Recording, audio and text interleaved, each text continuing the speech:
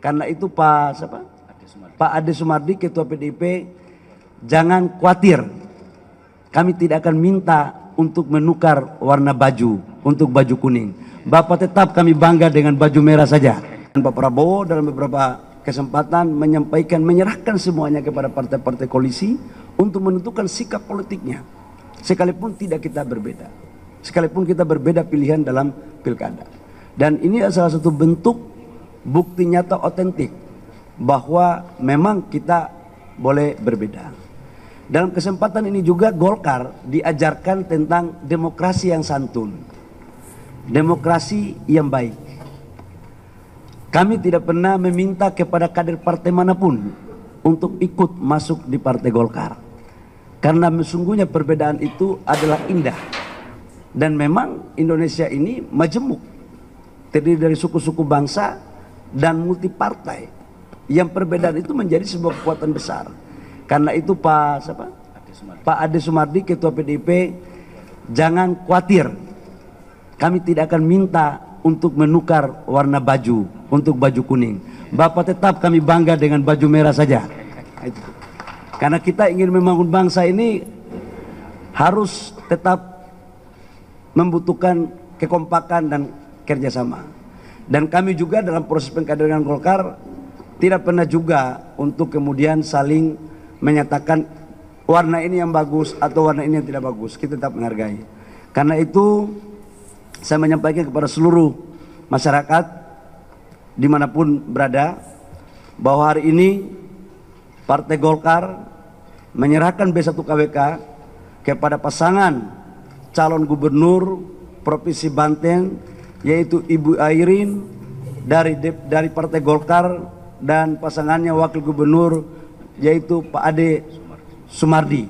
Semoga calon ini akan membawa perubahan besar bagi pembangunan Provinsi Banten dan sekaligus untuk memberikan satu pembelajaran politik yang baik bahwa perbedaan pandangan politik itu sesungguhnya tidak diharamkan tetapi setiap perbedaan saya mempunyai keyakinan ada sebuah jalan tengah dengan satu tujuan yaitu untuk kesejahteraan rakyat, bangsa dan negara. Dan itulah cita-cita perjuangan daripada partai golongan karya. Kami di koalisi Indonesia Maju sangat kompak. Dan Pak Prabowo dalam beberapa kesempatan menyampaikan menyerahkan semuanya kepada partai-partai koalisi untuk menentukan sikap politiknya. Sekalipun tidak kita berbeda.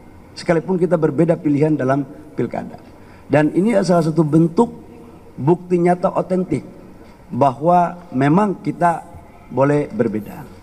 Dalam kesempatan ini juga Golkar diajarkan tentang demokrasi yang santun.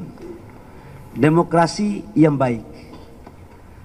Kami tidak pernah meminta kepada kader partai mana pun untuk ikut masuk di partai Golkar. Karena sesungguhnya perbedaan itu adalah indah dan memang Indonesia ini majemuk. Terdiri dari suku-suku bangsa dan multi partai.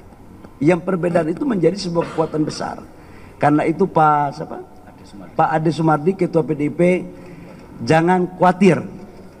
Kami tidak akan minta untuk menukar warna baju untuk baju kuning. Bapak tetap kami bangga dengan baju merah saja. Karena kita ingin membangun bangsa ini harus tetap membutuhkan kekompakan dan kerjasama. Dan kami juga dalam proses pengkaderan Golkar tidak pernah juga untuk kemudian saling menyatakan warna ini yang bagus atau warna ini yang tidak bagus. Kita tetap menghargai. Karena itu saya menyampaikan kepada seluruh masyarakat di mana pun berada bahwa hari ini Partai Golkar menyerahkan B1 KWK kepada pasangan calon gubernur Provinsi Banten yaitu Ibu Airin dari dari Partai Golkar dan pasangannya wakil gubernur yaitu Pak Ade Sumardi. Semoga calon ini akan membawa perubahan besar bagi pembangunan Provinsi Banten dan sekaligus untuk memberikan satu pembelajaran politik yang baik bahwa perbedaan pandangan politik itu sesungguhnya tidak diharamkan. Tetapi setiap perbedaan saya mempunyai keyakinan ada sebuah jalan tengah sat- dengan satu tujuan yaitu untuk kesejahteraan rakyat, bangsa dan negara. Dan itulah cita-cita perjuangan daripada Partai Golongan Karya. Kami di koalisi Indonesia Maju sangat kompak dan Pak Prabowo dalam beberapa kesempatan menyampaikan menyerahkan semuanya kepada partai-partai koalisi untuk menentukan sikap politiknya sekalipun tidak kita berbeda sekalipun kita berbeda pilihan dalam pilkada. Dan ini adalah salah satu bentuk bukti nyata otentik bahwa memang kita boleh berbeda. Dalam kesempatan ini juga Golkar diajarkan tentang demokrasi yang santun demokrasi yang baik. Kami tidak pernah meminta kepada kader partai mana pun untuk ikut masuk di partai Golkar. Karena sesungguhnya perbedaan itu adalah indah. Dan memang Indonesia ini majemuk. Terdiri dari suku-suku bangsa dan multi partai. Yang perbedaan itu menjadi sebuah kekuatan besar. Karena itu Pak siapa? Pak Ade Sumardi Ketua PDIP jangan khawatir. Kami tidak akan minta untuk menukar warna baju untuk baju kuning. Bapak tetap kami bangga dengan baju merah saja. Itu. Karena kita ingin membangun bangsa ini harus tetap membutuhkan kekompakan dan kerjasama. Dan kami juga dalam proses pengkaderan Golkar tidak pernah juga untuk kemudian saling menyatakan warna ini yang bagus atau warna ini yang tidak bagus. Kita tetap menghargai.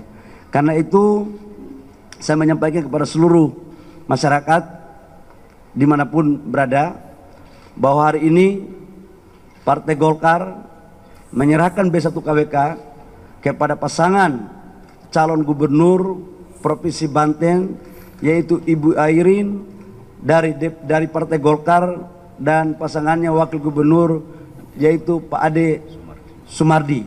Semoga calon ini akan membawa perubahan besar bagi pembangunan Provinsi Banten dan sekaligus untuk memberikan satu pembelajaran politik yang baik bahwa perbedaan pandangan politik itu sesungguhnya tidak diharamkan. Tetapi setiap perbedaan saya mempunyai keyakinan ada sebuah jalan tengah dengan satu tujuan yaitu untuk kesejahteraan rakyat, bangsa dan negara. Dan itulah cita-cita perjuangan daripada partai golongan karya